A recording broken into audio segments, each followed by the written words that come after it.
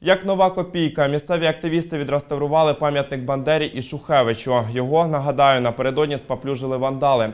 Розчинником свободівці прибрали ганебне кати та заново нанесли портрети та підписи. Активісти обіцяють, відтепер будуть пильно стежити за пам'ятником та навіть влаштовуватимуть позмінне чергування.